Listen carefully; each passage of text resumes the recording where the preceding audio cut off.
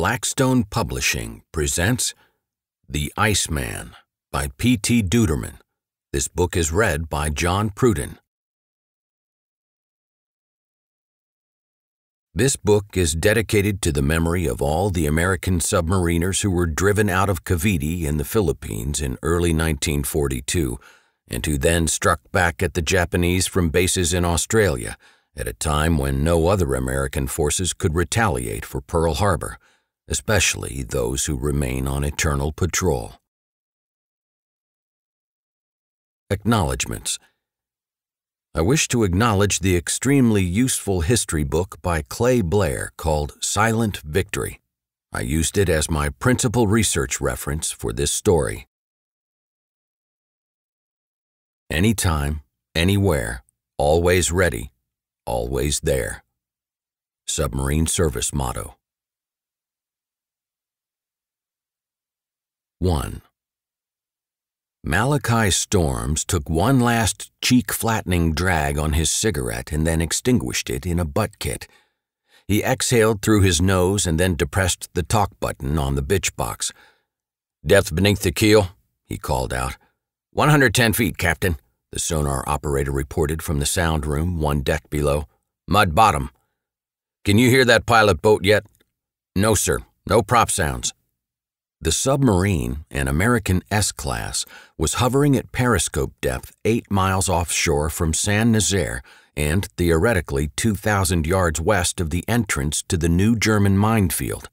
The Germans had mined the Loire River approaches following the British raid on the Normandie dry dock and the nearby U boat pens two months ago. The seaward entrance to the swept channel was marked by two black buoys 150 feet apart. The safe channel course past those buoys and into the harbor was known only to the Germans. Malachi assumed it was probably a zigzag pattern of some kind. First light is when? he asked. First light in 42 minutes, Captain, the navigator, Lieutenant Junior Grade Dick Harris answered. Very well, Malachi responded. He lit up another cigarette and peered down at the chart table in the middle of the conning tower. The space was crowded, damp, and cold, with only a hint of warm air coming up through the hatch from the control room immediately below. The frigid waters off the Bay of Biscay kept the temperature inside their steel cocoon at no more than 50 degrees, even with eight men crammed into the tiny space.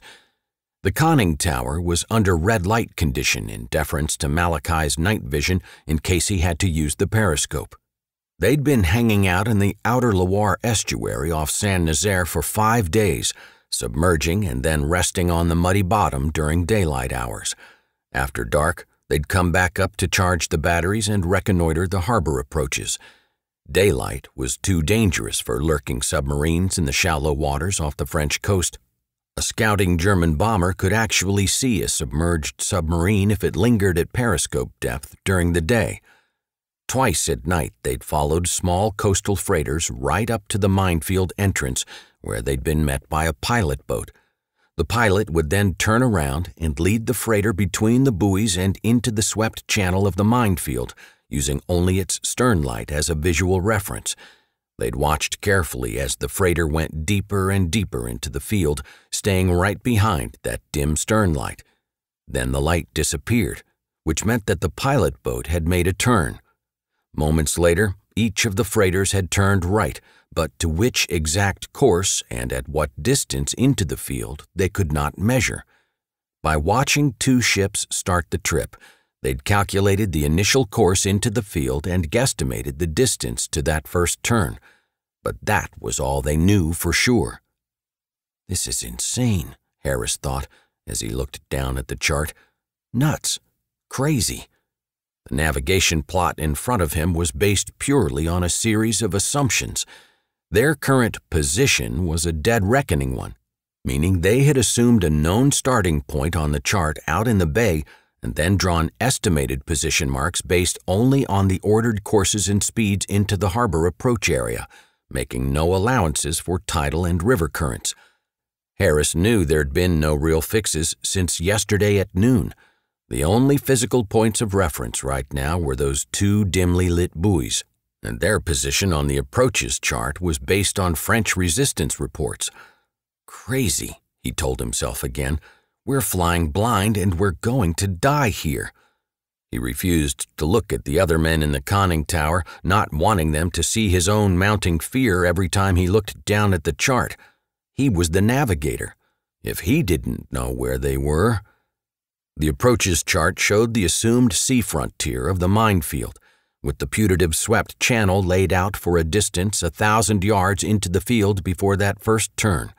The rest of the field was drawn onto the chart with diagonal lines indicating simply dangerous ground.